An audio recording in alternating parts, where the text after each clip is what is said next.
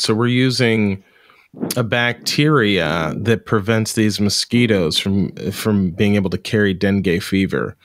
That is what what's the name, what's the name of this bacteria? It's called Wolbachia. Wolbachia. Just the W. Yeah, yeah, and it's pretty much my favorite. What, why is it? Uh. well, well, why is Wolbachia your favorite bacteria? Uh, I guess everyone's almost everywhere, it, and it does all these weird things. So Wolbachia um, lives in about a, a, half of the world's insects. Like if you think of the last two insects you saw, um, or other arthropods, like if you saw a spider or if you saw a fly, there's a 50-50 chance that at least one one of them at least had Wolbachia in it. And so it's in all these different organisms, uh, millions of species of, of insects, um, including the beetles that I study. Okay. And um, it can cause these reproductive effects. Um, it can change who, who can breed with who. Um, Wolbachia can affect if a virus replicates or not inside a host, like the dengue example.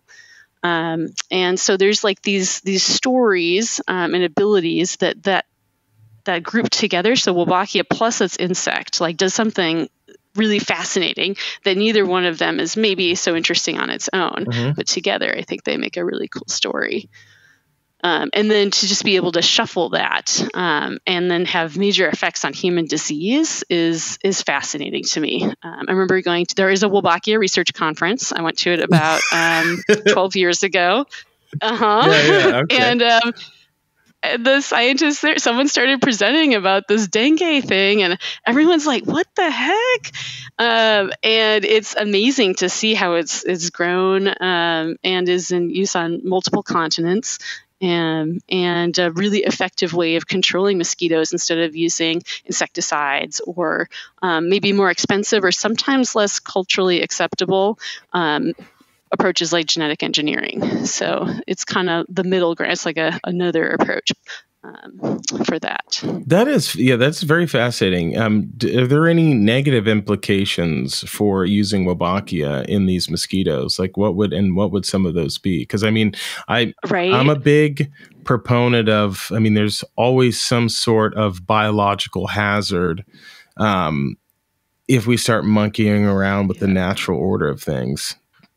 Yeah, yeah, and of course, these initial experiments were done in Australia, which is where many of these um, uh, something is is released to control another organism like cane toads. Um, yeah, that's terrible. Um, I'm not sure how they got there. Yeah, then they take over, and you're like, oh God, why did we do that? Mm-hmm. That was so short sighted. Um, I mean, as far as we can tell, the I mean, Wolbachia is a normal bacteria that lives inside other insects, uh, other mosquitoes specifically, and the mosquitoes are pests. Um, they really only live around humans um, these particular mosquitoes. So it doesn't seem like it. Um, initially, with the design of which Wolbachia, because there are many, many, many different strains to use, initially it seemed like the bacteria that would be used could have caused um, a species to die out. Mm-hmm. But for mosquitoes, who cares, right? Like that would be great. Um, so, so there, I think there's been some careful looking into that, and um, I mean, for the most part, they basically we still have the same mosquito. It's just that now this one has Wolbachia in it, and the previous one didn't. So um, I'm not. It's not to say there's not consequences because that's impossible to predict.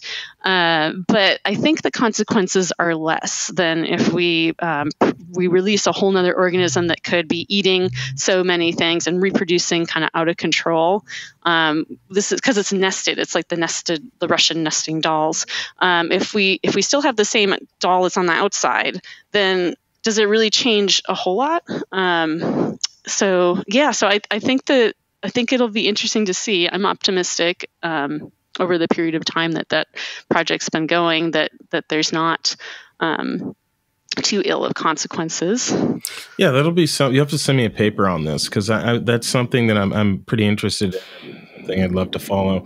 I mean, in in yeah. terms of like micro organisms, you know, you shared your favorite Wolbachia. I got to share mine. Definitely got to be the tardigrade. Oh yeah, the water bears. The oh, water God. bears. I mean, they can survive the yeah. vacuum of space. Huge. What's up, Jon? Uh, water bears aren't. I said, I said micro microorganism. Uh, I forget what. That's what I it's said. It's a microorganism. Yeah, it's technically it's it's a micro animal. It's true. It's, it's, un, it's really in the kingdom. It does have a lot of shit, I was yeah. wrong. But Damn I do want to. I want to talk about yeah. water bears. Let's but, yeah. let's do it. Let's do because they can survive yeah. the vacuum of space. They're you know they they're they're tough. They're tough little bastards. So so yeah. What what do you share with the listeners? Because you'll do a much better job than I can about about tardigrades and how awesome they are. Wow. Well, they are adorable. If, I mean, you have to use a very high-powered microscope to see them, and they do look like a little bear with that kind of a squashed face. Um, yeah, and they like to live in, as far as I understand, mosses yep. and lichens. And um, just like those, especially lichen, um, can withstand long periods of drying out. So can these little tiny animals. Um, I'm not sure their exact classification, um, but they're definitely multicellular and um, and yeah, they're they're just adorable. And if you rehydrate um, the the environment that they're in, then they can also start to become metabolically active. So they're yeah, uh, they're just very charismatic. Very they're very cute. I agree. Yeah. I spent an afternoon trying to find them one one summer. I was like, I want to find a water bear. So me and a biologist friend ran out and got, got ourselves some lichen and spent a bunch of time looking under the microscope. We didn't find them. It was the dry season, um, so uh, maybe they were there and we just missed them. But I I definitely I want to go scout some. Um, I would I would use a badger too though if I was going to look for a water bear. What if they're together? What if they're hunting together? Yeah, I didn't even know. We would we'd be able to see one. We wouldn't be able to see the other one. I know right? that would be the problem. Yeah, unless the badger could get really small, but do, I don't. I don't think so. Do you spend much time like? Uh, I mean, maybe not not so much now, but like you know, in the past, did you ever look into animal behavior?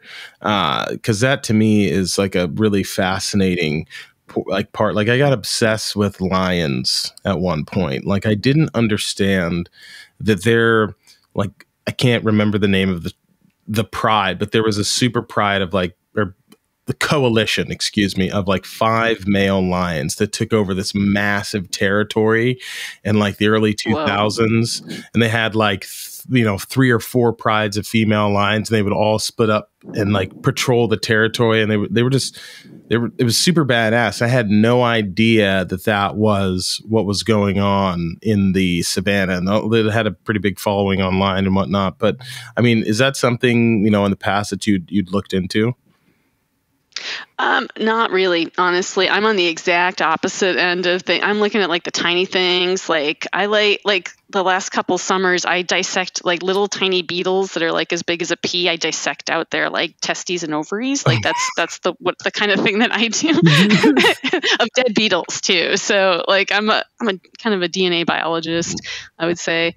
Um, I mean, I think that that stuff is fascinating with animal behavior, but that, that's not something I've worked on so directly. What are these beetles that you're dissecting, and why? Oh, um, yeah. I like to call them the tiny shiny beetles. Um, their name is Bembidion, and they are one of the most specious groups that we know of on the planet. So, this is a genus, if you know the scientific naming system, like Homo sapiens. Homo is the genus, and then sapiens is the species. So, Bembidion is the genus of beetles. There's about 1,200 different species that are known of these tiny, shiny beetles, and they live on the edge of water, like by rivers or lakes, or sometimes by a glacier. Mm-hmm. And um, and they are again very small. Many of them are shiny, um, and they come out at night usually, and then they will go like find little bits of dead insects um, or larvae that have washed up on the edge of the water. Um, and they can be found almost anywhere in the world um, uh, in intertidal areas in the ocean as well. And so um, I've been working on those for a while, and about half of the ones I've tested have Wolbachia. And so I'm trying to look for patterns of what's going on with the Wolbachia genetics um, and match that up with the beetle genetics to see if, um, yeah, they have some some shared history. Do you think that, like in the instance of you know finding Wolbachia, is this helping the beetles like that have Wolbachia? Are they more successful? Like if you're looking for patterns, I'm, I'm just is that sort of what you're trying yeah. to piece together? Yeah, that's a good question. Um, the way that I do it, because they're all dead, um, I work with a scientist at Oregon State University who's spent the last 20, 25 years collecting these beetles all around the world. So all of the ones that I look at are dead. Um, so I don't know any of their life history traits. That would be awesome. But um, but that would require living organisms in in the lab. Mm-hmm. Um, so what I'm actually looking for is so this Wolbachia bacteria seems to be able to potentially affect um, speciation, and so it could be responsible for some of the events of insect speciation that we see potentially hundreds of thousands of times that we've gotten different species I, am because of the Wolbachia. I'm a little bit unclear what speciation means. Right. Yeah, good question. So, um, speciation would be if we had one group of organisms that was all in a population and they could all interbreed. Um, if over some period of time, um, it could be because, like, um, there's a river that forms between them. Now they can't um, breed with each other mm-hmm. physically. And then if you try to reintroduce them later, they've changed too much. Okay. So now they're separate. Um, and so, so insects are really fascinating because there are so many species of them compared to any other groups that we know of. That it's like, well, what what caused that? Like, why do they keep splitting? And it, it seems possible uh, that Wolbachia, this bacteria, um, because of its presence and it affects who can breed with who. Which that's an interesting story as well. It could be the driver of how things start to split. What the fuck? So instead of like for real? I know, right? That's wild. Yeah. So because of a bacteria, this is a hypothesis, right? This isn't this isn't fact. So that you're not founded, your, but it, your yeah. hypothesis is because there is a bacteria that has infected these insects that it's going to cause speciation, meaning it's going to create a different type of species of beetle that all have Wolbachia. Well, that's kind of creepy. Yeah, it's totally creepy. Yeah, it's not just mine. Yeah, so people have found um, over the last couple decades many examples where certain fruit flies can't breed with each other anymore. Like if you remove the Wolbachia, then they can't breed together. And they used to say, "Oh, it's just a parasite; it doesn't matter." But Wolbachia just keeps showing up in more and more lineages, and so it's it's possible that the presence or absence of it has allowed things to kind of uh, breed together or not um, and start to split. What what advantage would it have for this bacteria to do this? Right. Yeah. Yeah. So, um, so that's a really good question. So the way that it works is, so Wolbachia is considered a reproductive parasite, and so basically, just like a virus, it just wants to make more. That's how it benefits. Right. That's how it continues to spread. Mm-hmm. And now, and so um, Wolbachia lives inside females, um, female insects, specifically in their ovaries, and then it can get packaged into the eggs which means that every baby that that um, insect has will also be infected with Wolbachia. Mm. So it can spread like that through generations. And then where the reproductive bit comes in is really weird. Um, are you ready for this? Yeah, I'm, I'm ready. I'm excited. So, all right. If the female is infected, then she can always make babies, and it doesn't matter if the male has the the uh, bacteria or not. But if a female doesn't have the bacteria, she can she can't make babies with an infected male. And so now she can't make any babies. And so her basically her line could die out. Um, Whoa. I know, right? Yeah. It's nefarious. That is crazy. So the only way she can have reproduce is to get infected or if she finds a male um, that doesn't a have. male that doesn't have it. Yep. But yeah. The, but, then but it basically sets up. Yeah. But it's 50-50, right? It's a 50-50 chance. Wolbachias and everything. Can we get it? Um, not that we know of. That's a good question. Yeah, yeah, yeah. yeah, I don't want it. I think it. Yeah, I don't want it. No. yeah, yeah. So basically, Wolbachia can select for infected females, so that's the benefit, and then, um, and but then it also has a downside. Um, kind of starts to limit things. Um, so and set up some barriers basically, which could cause that speciation. Okay, now is this in I know you don't study you're studying dead animals, but I have to ask this question because it's top of mind right now. Does it mm-hmm. change the if does it change the do you know maybe your colleague or, or, or someone else in this field, right? Do you know of it, of an, the animals that are the insects that are infected? Is it are there is their behavior changing at all if they have an infection yes. rate of, of yeah. Wolbachia? That's a good question. Um, for these beetles, I don't think anyone would know, but there definitely are examples that people have looked at behavioral changes with Wolbachia. Um, I don't know the examples off the top of my head, but I definitely could dig around and find some. Um, but yeah, it could change behaviors. Um, I think it was in some ants or maybe wasps. Um, yeah. And um, another creepy thing that Wolbachia does, well, this is actually kind of cool. So Wolbachia infects bed bugs. Mm-hmm. Um, if you take the Wolbachia away, the bed bug dies. Oh, really? I know, right? Yeah, because the Wolbachia can help with its nutrition because it eats such a weird diet of blood. Um, yeah, so so if we got rid of Wolbachia and bed bugs, we'd have no bed bugs. That's good. Yeah, that that is good. No, That's and this is yeah. I, I didn't even. It, kind of freaks me out that I didn't know that this existed. I mean, uh, uh, although it doesn't seem to be a problem in human beings, um, right? Which is probably why I don't know about it. But it, it's it's going on in the insect world, which mean, insects outnumber us. Like I don't even. I feel like it's like twenty to one. They're everywhere. We're always finding new species of the creepy crawlies. Yeah. Well, and Wolbachia keeps making them, so there you go. Yeah, like, right. You just they can't keep, get away. They keep it. making yeah. different types of insects, which is this is this is fascinating. How, I mean, how did you end up finding out about this? And like, right. Yeah, it's a good question. Um, so I worked on fruit flies in grad school, um, and I looked at development of the nervous system. So, um, so I really liked fruit flies. I liked insects, and then um, I had um, I, I, worked for a little while in a laboratory that looked at corals and symbiosis, and I thought that was really cool. But then I got a job in Denver, and I was like, okay, I'm not going to be near the ocean. This is going to be tricky to work on symbiosis.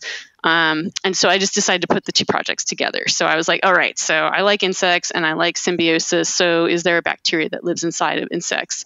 and um, a friend of mine from grad school had just started working on Wolbachia. It was like, "Hey, get on the train! Let's go on the Wolbachia train, Wolbachia Express! Woo woo!" Yeah.